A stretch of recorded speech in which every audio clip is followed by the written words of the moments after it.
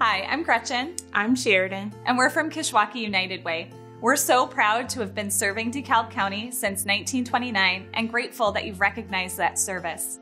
We look forward to continuing to work with you and serving DeKalb County. We have a lot of big changes happening at United Way, and we cannot wait to share them with you. Let's work together and live united.